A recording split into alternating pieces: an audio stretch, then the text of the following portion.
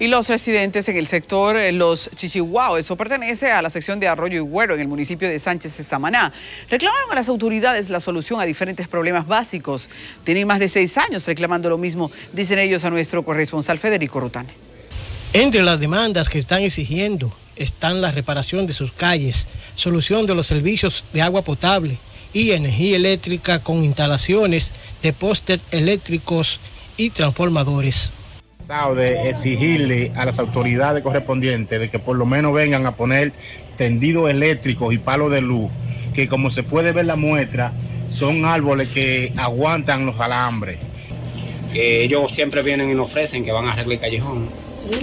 Vamos a ver si ellos cumplen con su palabra, porque siempre dan la palabra de arreglar el callejón eh, y la luz en esta comunidad. ¿Qué hizo el video de este callejón? Que el callejón está arreglando, arreglado todos los callejones, el único que no quiere arreglar es de los chichiguaos, sabiendo que le debe eso a uno. Los residentes expresan que las autoridades no han respondido a los reclamos que han venido realizando y las promesas que le han ofrecido en las campañas pasadas, el cual tiene una población de más de 2.000 habitantes con derecho al voto. Que no quiero ofender a lo más de lo que está ofendido o de lo que él me ha ofendido a mí. Porque él conociéndome como me conoce, este callejón era el primero que él tenía que arreglar. Porque nosotros los chichiguaos lo llevamos. Cuando él perdió, le dimos el voto y cuando ganó, le dimos la victoria. Todos los años lo están arreglando. ¿Eh?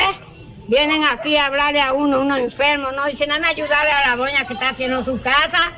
Eh, no, yo le hablo la verdad a cualquiera. Los Chichiguao es uno de los sectores más pobres y olvidados por las autoridades de nuestra provincia turística que el sustento de vida de los comunitarios es la cría de chivo y la agricultura. Desde el municipio de Sánchez, provincia Samaná, pues del Gurrután, CDN.